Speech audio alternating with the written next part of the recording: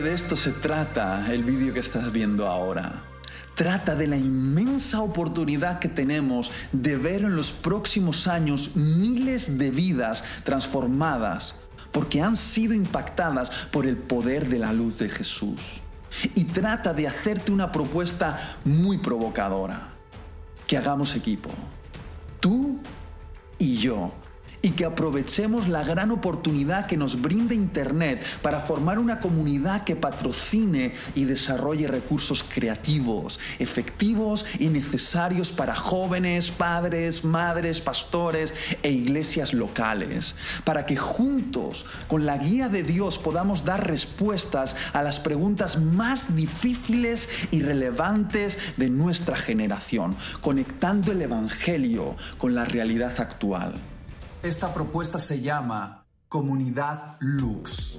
¿Crees que vale la pena que exista un proyecto así? Ahora, déjame que te confiese algo. Aunque en la actualidad me ves predicar delante de miles de personas, comunicando de forma clara las verdades de Dios y conectándolas con asuntos relevantes de nuestra cultura, no siempre fue así. Cuando era adolescente estaba muy confundido confundidísimo. Crecí en un entorno cristiano aparentemente seguro, pero eso no me libró de experimentar mis luchas internas con la confusión. La relación con mi papá estaba fracturada, experimentaba bullying en mi escuela, me hice adicto a la pornografía, me afilié a un movimiento sindical comunista buscando mi lugar en el mundo, tuve dudas respecto a la fe que me habían enseñado. En definitiva, me sentía confundido respecto a Dios, respecto a mí mismo y respecto al mundo que me rodeaba. Pero Dios me amó en medio de mi confusión y me envió referentes que encarnaron el mensaje de Jesús ante mis ojos, maestros que supieron conectar la Biblia con mis preguntas vitales. Esto fue clave en mi proceso de transformación.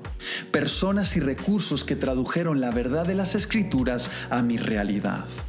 Gracias a mi pastor de jóvenes, tuve la oportunidad de moverme en contextos donde tenía acceso a una gran diversidad de expresiones creativas del Evangelio, donde el arte, la música y la predicación se fundían, convirtiendo el mensaje de Jesús en algo comprensible e inolvidable para mí. Recuerdo también que cuando renuncié a mi puesto en el sindicato de estudiantes comunistas con 18 años, Tenía mi mente llena de preguntas inquietantes y decidí inscribirme a una escuela de discipulado en busca de respuestas.